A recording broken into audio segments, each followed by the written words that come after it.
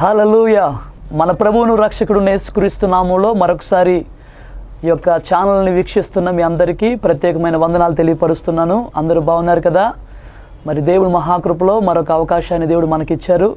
మరి సమయంలో దేవుని యొక్క వాక్యాన్ని మనం విందాం. మరి దయచేసి మరి అందరూ కళ్ళు మూసుకుని ప్రార్థన చేయవలసిందిగా మనం చేస్తున్నాను. ప్రార్థన చేసుకుందాం.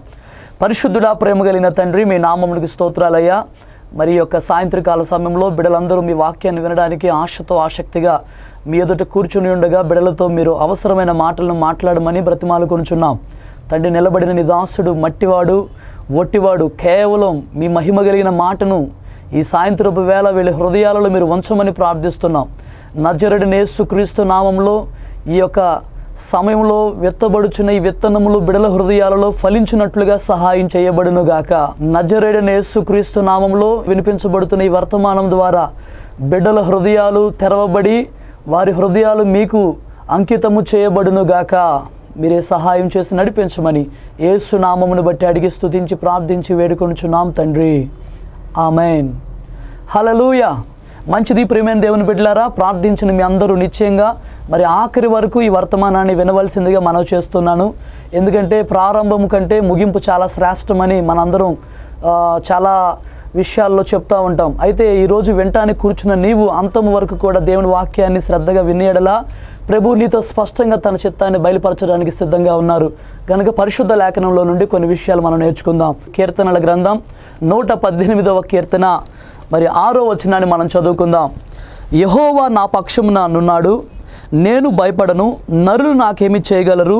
యహోవా నా పక్షమున వహించి నాకు సహాయ అయి ఉన్నాడు నా శత్రువుల విషయమై నా కోరిక నెరవేర్చుచు యహోవా నా పక్షమున ఉన్నాడు నేను భయపడను నరులు నాకేమి చేయగలరు? హల్లెలూయ. చూడండి ఒక చక్కటి మాటను మనం ఇప్పుడు చదువుకున్నాం.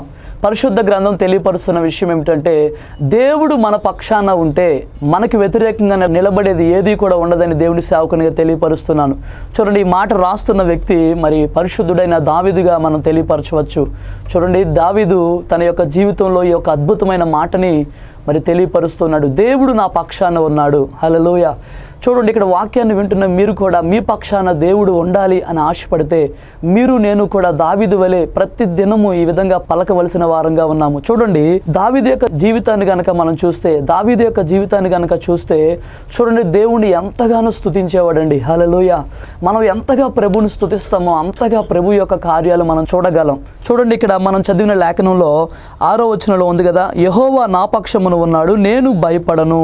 హలలోయ చూడండి మనము అనేక విషయాల్లో భయపడతా ఉంటాం. చూడండి ఇక్కడ వాక్యంలో ఉంది యహోవా నా పక్షాన ఉన్నాడు కాబట్టి నేను భయపడను.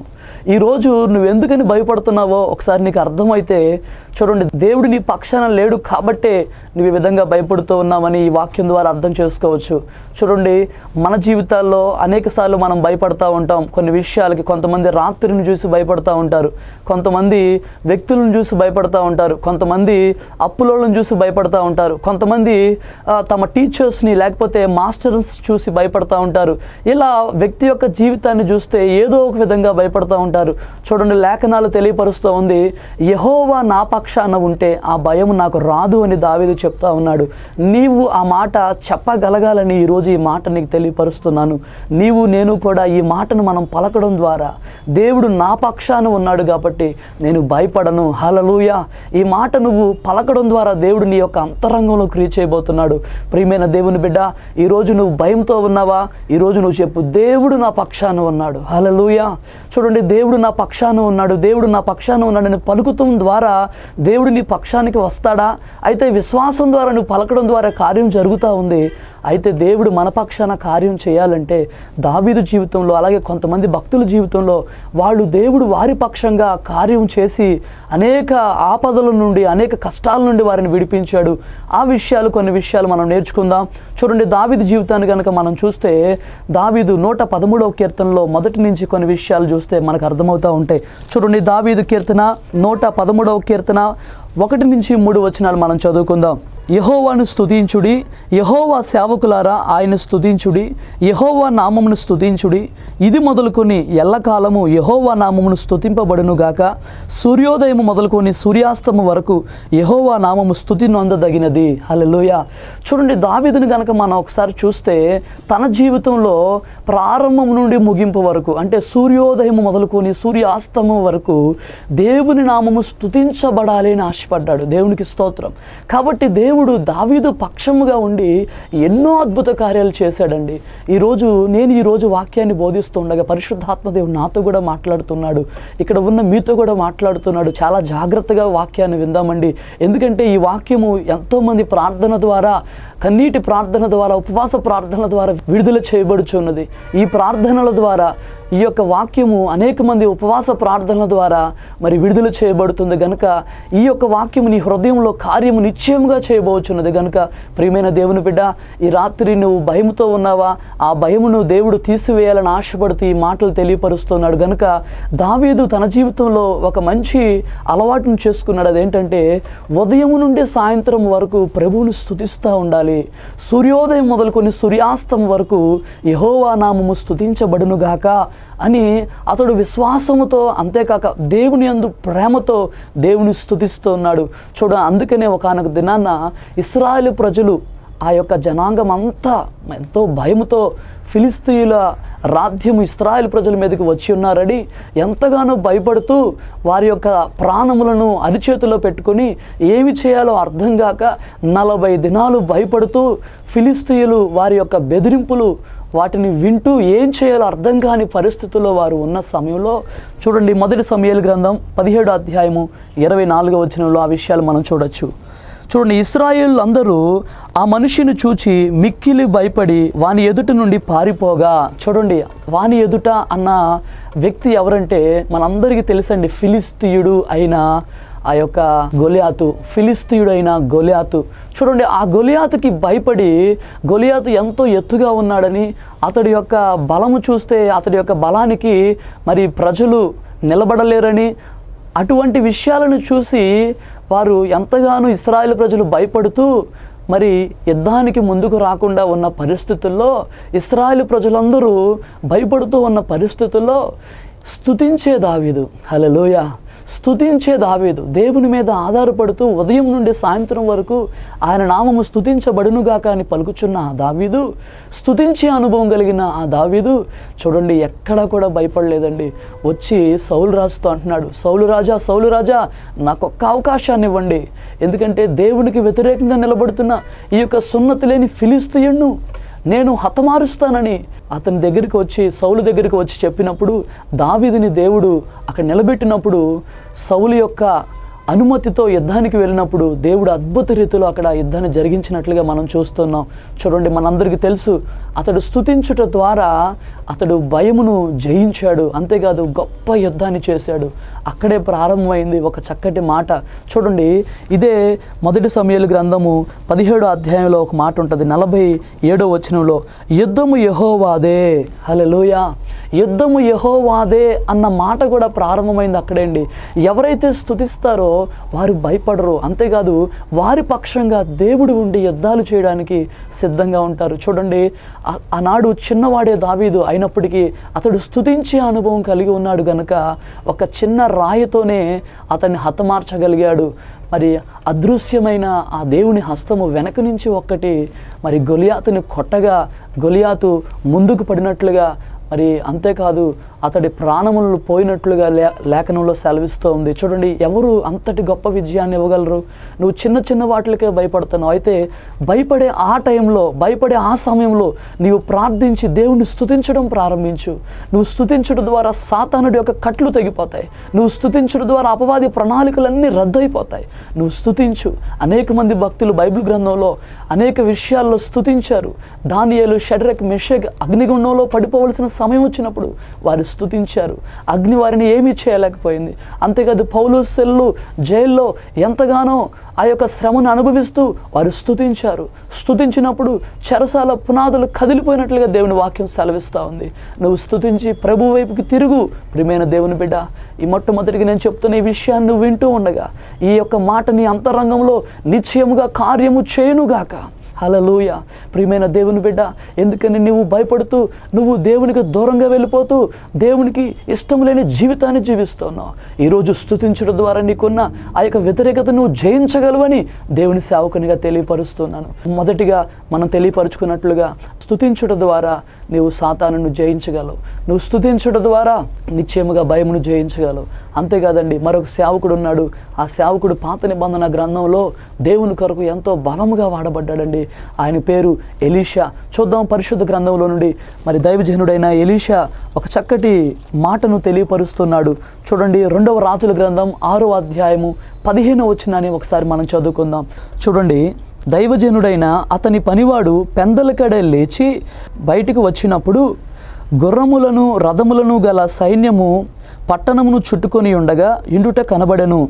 అంతటా అతని పనివాడు అయ్యో నా ఏలినవాడా మనము ఏమి చేయదుమని ఆ దైవజనుడితో అనగా అతడు భయపడవద్దు మన పక్షమున ఉన్నవాడు వారికంటే అధికులై ఉన్నారని చెప్పాను. దేవునికి స్తోత్రం. హల్లెలూయా.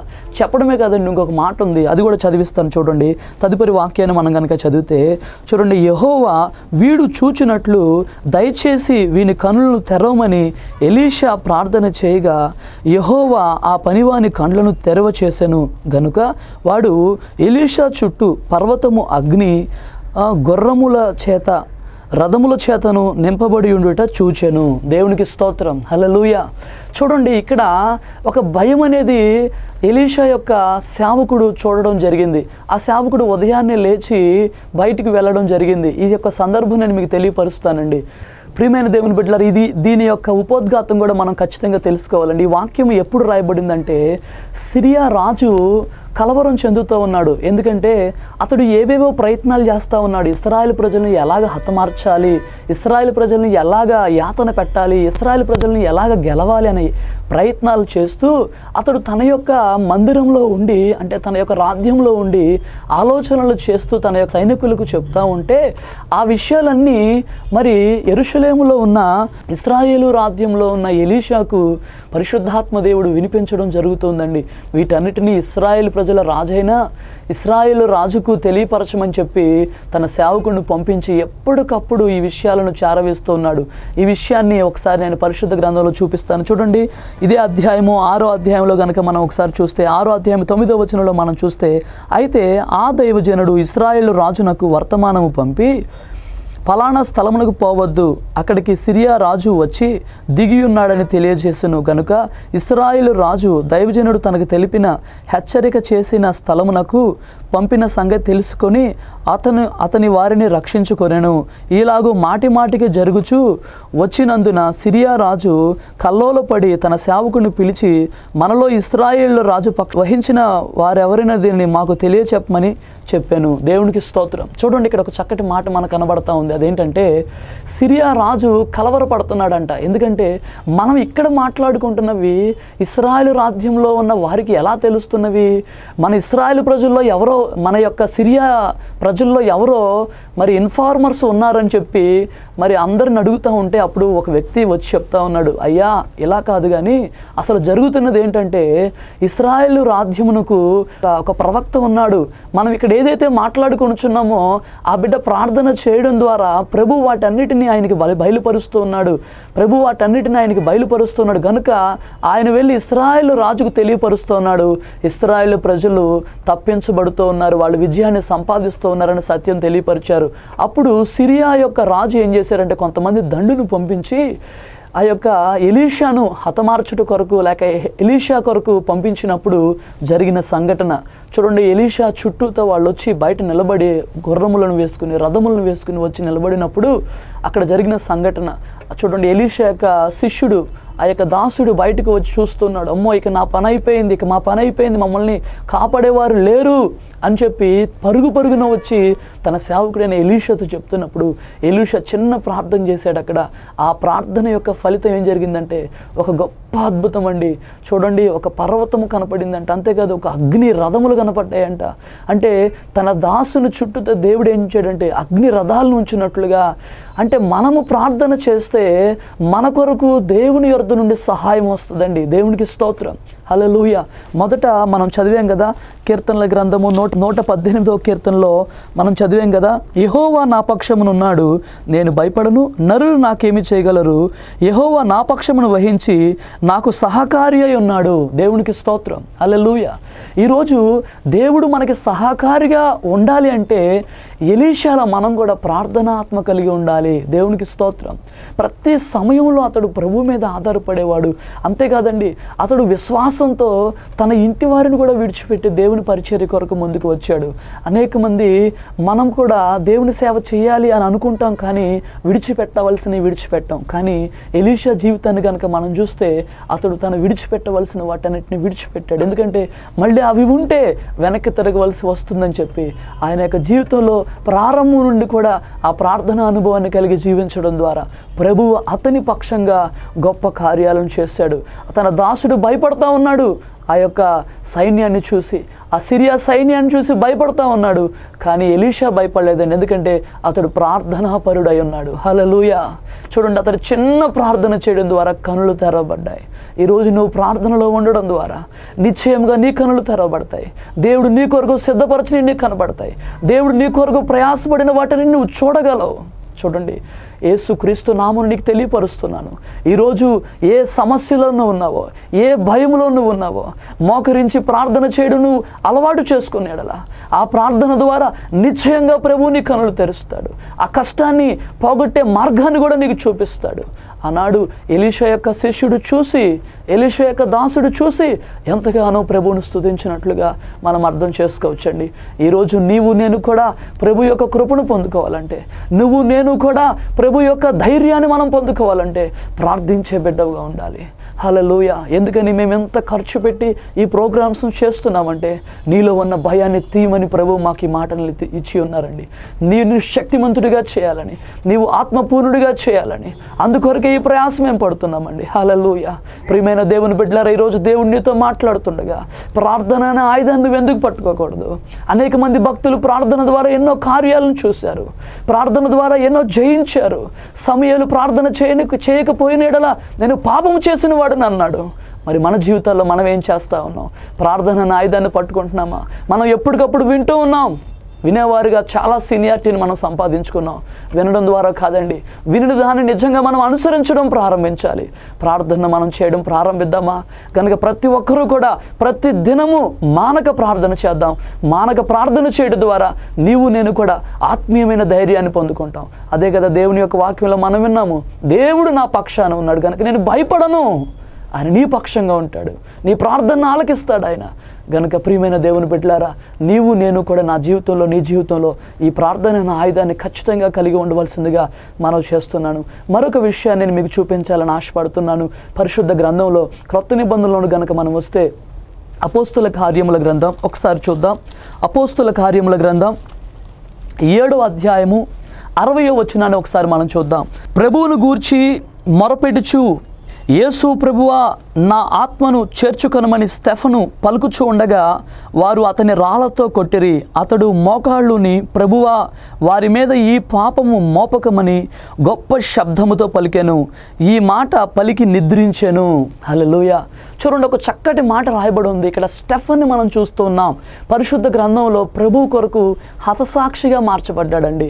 ఇతని యొక్క జీవితాన్ని కనుక మనం చూస్తే ప్రభు యొక్క ప్రేరేపణను బట్టి ప్రభు యొక్క ఆత్మ నడిపింపును బట్టి ప్రభు యొక్క పిలుపును బట్టి దేవుని సేవ చేయడం కొరకు ఇతడు సమర్పించుకుని ముందుకు రావడం జరిగింది. అంతేకాదు ఇంకొకటి మనం గనక గమనించినట్లయితే తన జీవితంలో దేవుని యొక్క పిలుపు తప్ప మరి ఏది గొప్పగా అతడు ఎంచుకోలేదండి. చూడండి ఇతడు ధైర్యంగా ఈ యొక్క భూలోకంలో మనం గనక ఆలోచిస్తే మనల్ని బాగా భయపెట్టేది ఏదైనా ఉందంటే మరణమేనండి. చూడండి మరణానికి ముందే అతడు నిలబడి చెప్తున్న మాటలండి ఇవన్నీ. అతడు ఎంతో ప్రార్థనతో అంతేకాదు ప్రభు ఎందు నిరీక్షణతో నిలబడ్డాడండి. ఎవరైతే ప్రభు ఎందు నిరీక్షణ కలిగి ఉంటారో ప్రభువును చూస్తానని నిరీక్షణ కలిగి ఉంటారో వారు భయపడరండి. చూడండి అతను మరణానికి కూడా భయపడలేదండి. నీవు నిరీక్షణ కలిగి ఉన్నట్లయితే నీవు దేనికే భయపడవు? నిరీక్షణ దేని విషయంలో కలిగి ఉండాలో? పరిశుద్ధ గ్రంథంలో నేను మీకు చూపిస్తాను. చూడండి ఇదిగో నేను త్వరగా వచ్చుచున్నాను అని దేవుని లేఖనం సెలవిస్తూ ఉంది. ఆయన వస్తున్నాడని నీవు నిరీక్షణ కలిగి ఉండాలి.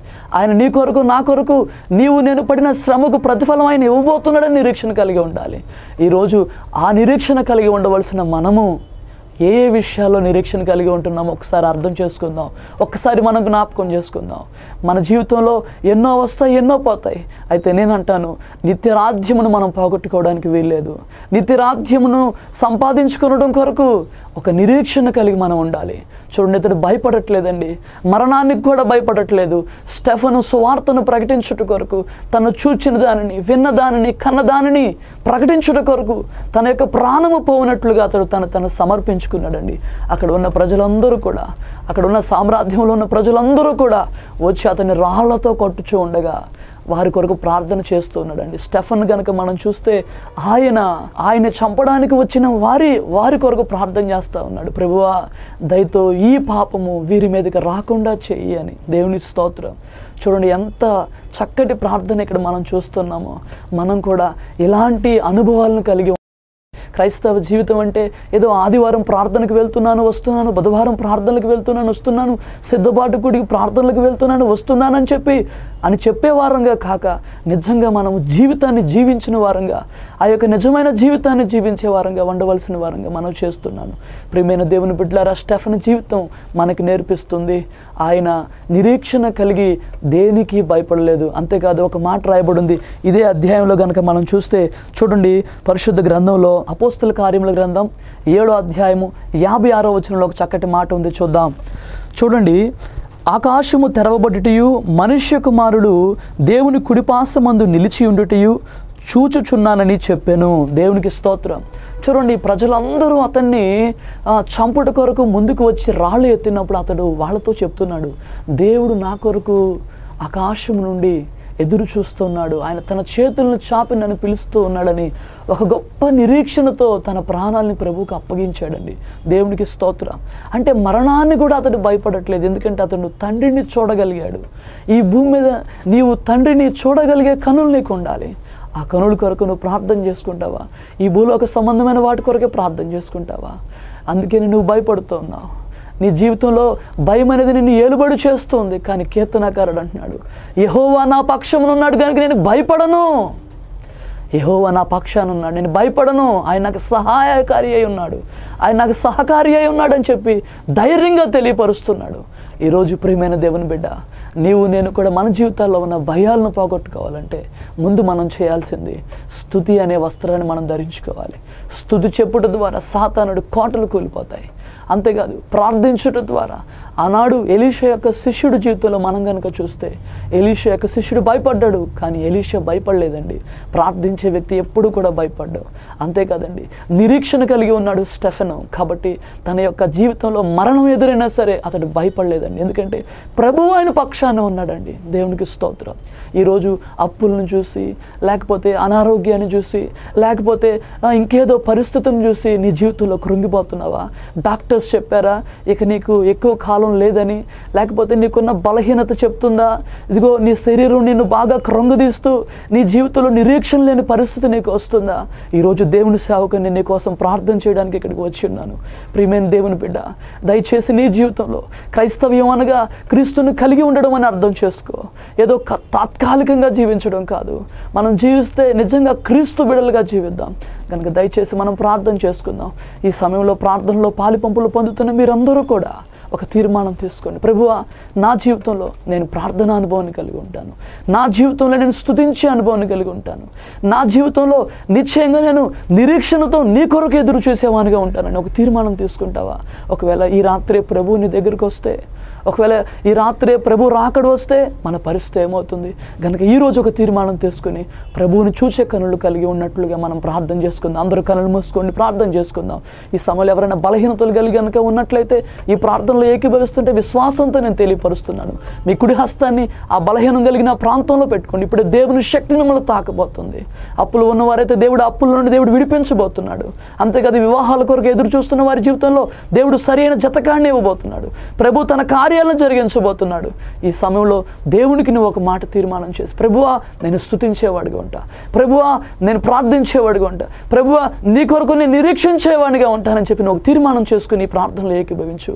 ప్రార్థన చేసుకుందాం. సర్వ ఆశీర్వాదాలకి కారణభూతుడైన దేవా మీనామమునికి స్తోత్రాలు. తండ్రి విశ్వాసపు శక్తి అనే కార్యక్రమాన్ని చూస్తున్న అయ్యా ఈ యొక్క బిడలందరిని బట్టి మీకు స్తోత్రాలు. తండ్రి మీరు అవకాశం ఇస్తేనే ఇక్కడ మాట్లాడడం జరుగుతుంది తండ్రి. నిజంగా లేకపోతే ఇక్కడ నిలబడడానికి కూడా అర్హత లేని వాడినయ్యా ఎందుకు కొరగాని వాడిని తండ్రి? తండ్రి దయతో ఈ సమయంలో తండ్రి ఈ బిడల కొరకు ఎవరైతే ప్రార్థనలో ఏకీభవిస్తున్నారో వారి కొరకు ప్రార్థిస్తున్నాడు తండ్రి. నిజముగా తండ్రి యహోవా నా పక్షమున ఉన్నాడు కనుక నేను భయపడను. యహోవా నాకు సహాయుడని తెలియపరచున్నట్లుగా నిశ్చయంగా తండ్రి వీరి పక్షంగా మీరు ఉండమని ప్రార్థిస్తున్నాను నాన్న. వీరి పక్షంగా మీరు ఉండమని ప్రార్థిస్తున్నాను. నజరుడిని యేసు క్రీస్తు నామంలో ఈ వాక్యము బిడల జీవితంలో స్థిరపరచబడును గాక. నజరుడిని యేసు క్రీస్తు నామంలో వీరి యొక్క కుటుంబాలకు వ్యతిరేకంగా పనిచేస్తున్న ప్రతి చీకటి అంధకార శక్తులు ప్రభావము ఇప్పుడే లయపరచబడును గాక. రీబాలారాబా షాందారి అలారాబా బలమైన దేవుని అగ్ని బిడల్ని తాకును గాక ఇప్పుడే. తండ్రి బలపరచండి. మీ కనికిరాన్ని బిడల మీద పంపించండి తండ్రి. అయ్యా స్థుతించాలని బిడలు ఆశపడుతున్నప్పటికీ అపవాది చేత మోసపరచబడుతూ తండ్రి దూరం అవుచు ఉండగా ఇప్పుడే మీ దాసునిగా ప్రార్థిస్తున్నాను. ఈ ప్రార్థనలో ఏకీభవిస్తున్న వారందరి పైకి స్థుతి వస్త్రము యేసు నామంలో దిగివచ్చును గాక. అంతేకాక ప్రార్థించాలని బిడలు ఆశపడుతూ ఎన్నోసార్లు ప్రార్థించాలని మోకరించి కూడా వెనకకి వెళ్ళిపోయిన వా బిడలు ఇక్కడ ఉండి ఉండగా ఈ బిడల కొరకు ప్రార్థిస్తున్నాను. ఏసుక్రీస్తు నామంలో భయమును జయించుట కొరకు వీరు ప్రార్థించుదురుగాక అయ్యా మీ యొక్క సహాయాన్ని అర్థిస్తుండగా ఈ బిడలు ప్రార్థించి అభిషేకమును పొందుకొందురుగాక అంతేకాక తండ్రి అయ్యా నిరీక్షణ అనే వస్త్రాన్ని బిడ్డకి దయచేయమని ప్రార్థిస్తున్నాను. మీరు మా కొరకు త్వరగా రాబోచున్నారని అయ్యా మీ కొరకు మేము సిద్ధపరచబడాలని అయ్యా మేము ధైర్యంతో ఈ భూలోకంలో ఉన్న శ్రమలు ఎన్న తగినవిగా మేము ఎంచి ముందుకు వెళ్ళే భాగ్యమును బిడ్డలకి దయచేయండి. ఎంతమంది అయితే బలహీనలుగా ఉండి తండ్రి ఈ సమయంలో ప్రార్థనలు ఏకీభవిస్తున్నారు. వారందరికీ యేసు నామంలో విడుదల కలుగును గాక. నా యేసు నామంలో ప్రతి ప్రాబ్లంని ఇప్పుడు విడిచి బయటికి రమ్మని ఆజ్ఞాపిస్తున్నాను. ఏసు నామంలో విడుదల పొందుకోండి ఇప్పుడే. ఏసు నామంలో స్వస్థత పొందుకోండి ఇప్పుడే. ఏసు నామంలో ఇప్పుడే మీకు సంపూర్ణమైన విడుదల కలుగునుగాక అప్పులతో ఉన్న వారికి విడుదలను దయచేయండి. అయ్యా వివాహాల కొరకు ఎదురు చూస్తున్న వారికి వివాహాలు జరగడానికి సహాయం చేయండి. అలాగే తండ్రి వ్యాధులతో బాధలతో ఎటువంటి పరిస్థితులతో బిడ్డలు ఉన్నారు వారందరికీ విడుదల కలిగే సహాయం చేయండి. అంతేకాక తండ్రి ఈరోజు వాక్యాన్ని విని వాక్యానుసారంగా జీవించాలని తీర్మానం తీసుకున్న బిడ్డలందరూ పని మీ హస్తం నుంచి నిశ్చయముగా వాక్యంలో వీరిని స్థిరులుగా చేయమని ప్రార్థిస్తూ ఏసునామమును బట్టి అడిగి స్తుతించి ప్రార్థించి వేడుకొంచున్నాం పరమ తండ్రి. ఆమెన్. ఇప్పుడు మన పరమ తండ్రి అయిన దేవుని ప్రేమయు కుమారుడనే క్రీస్తు వారి కృపయు పరిశుద్ధాత్మ దేవుని యొక్క నిన్న సహవాసం ఆదరణ కుడివన మనకును సర్వత్రా ఆయన స్థుతించే భక్తులకును.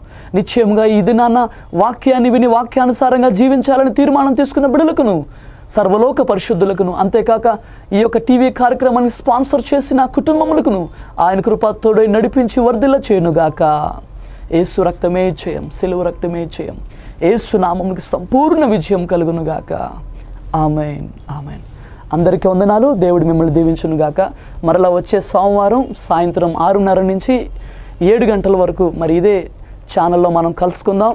ప్రభు మిమ్మల్ని దీవించి ఆశీర్వదించును గాక. ఆమెన్.